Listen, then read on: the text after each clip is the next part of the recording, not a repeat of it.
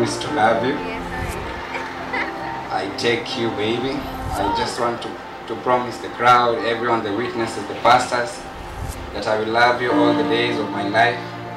I'll protect you and uh, we'll have fun together, have babies together.